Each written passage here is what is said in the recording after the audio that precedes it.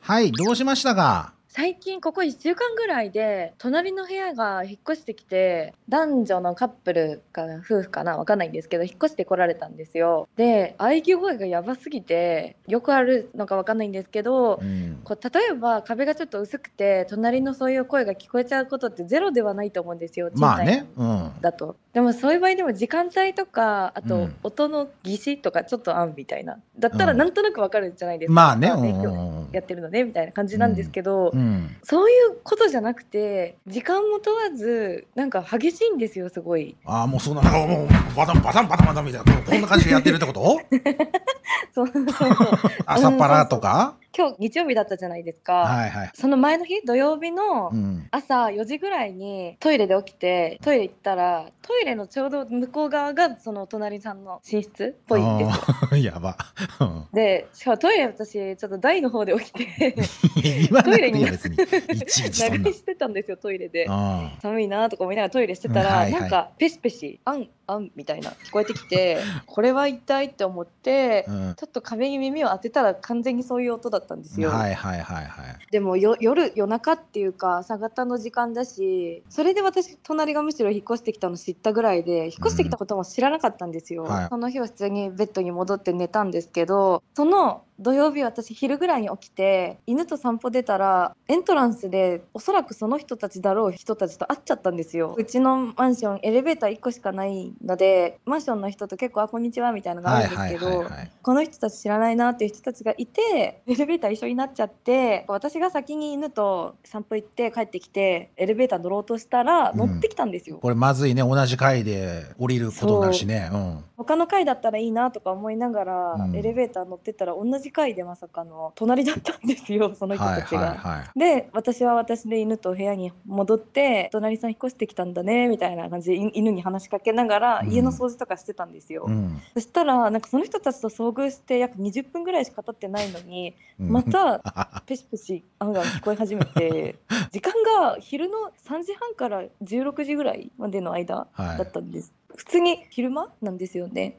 で前に聞いたペシペシより激しくて DV なのかなって思っちゃってあ、それぐらいのね、うん、音なのね。そうなんですよ、うんそれでちょっと心配になっちゃうぐらいだったんですけど、うん。変態なのかな？なんか壁にちょっともう一回耳を当ててみたんですよ はい。そしたら、うんペシペシパンパンの後にうん。はっきりと女性の声で 気持ちいい気持ちいいと言ってたんですよ。はい。これってそういうプレイなんだってそこで知って、うん。気まずくなっちゃってうん一人で、なんか嫌になっちゃってなんか YouTube の動画とかつけながら聞こえないようにしてたんですけど、うん。なんか壁伝いじゃなくてベランダ伝いにも聞こえてくるんですよ。どういうこと？ベランダはつながってるじゃないですか。まあね、うん。部屋の中を安全にしたと思ったら外から聞こえてくるみたいな感じになっちゃって窓際でやってんのかな？じゃあ。おそらくそうですねそれで犬も覚え怯え出しちゃって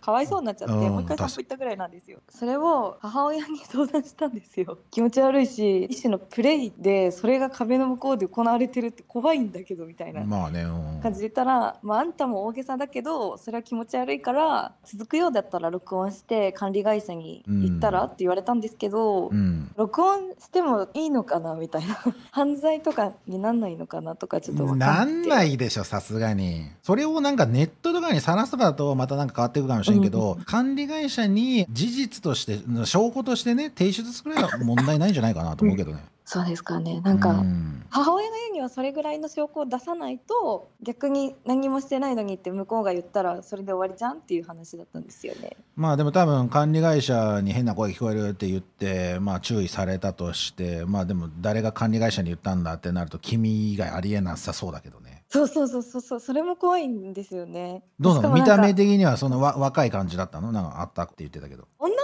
子は20代だと思うんですよね。ただ男性は顔は若いんですけどハゲてるんですよ。まあ竹之内社長もそうだからねでも。なんかかちょっとよくわかんない組み合わせなんですけどエレベーターの中でも私と犬がいるのに女の子の方がずっと男の人の背中なべ撫で回しててなんかラブラブだったんでん。楽しそうだなって感じだったんですけど、まあ録音するぐらいは別にいいと思うけどね。うんんですかね。さっきこれこれさんに連絡するときに今やってないかなと思って聞きに行ったんですけどやってなかったんですよ。ちょっと聞きに行ったって何？聞きに行かないと聞こえないんだったらそこまでなな気もするけど。うちの構造がちょっと変わってて玄関とトイレとお風呂とか水回りが1階で2階が部屋なんですよ。まあまあまあまあそこら辺はねいいとして、ううん。んそんなに気になるなら録音してじゃあ管理会社に提出するしかないよね。プレイが始まって君が気になる起きてて気になるやったらまあ炎上パンチ流すとかさ。流していいんですか？流していいよ流して。その相手もさなんかプレイしてる時だけな変な音楽聞こえるな。しかも炎上パンチとか言ってんなみたいな。これもしかしてさらさいやつやねって思って察してくれたらうんええけどまあさらに燃え上がってしまったらごめんなさいですね えちょっとやってみよう。はいさよなら ありがとうございます。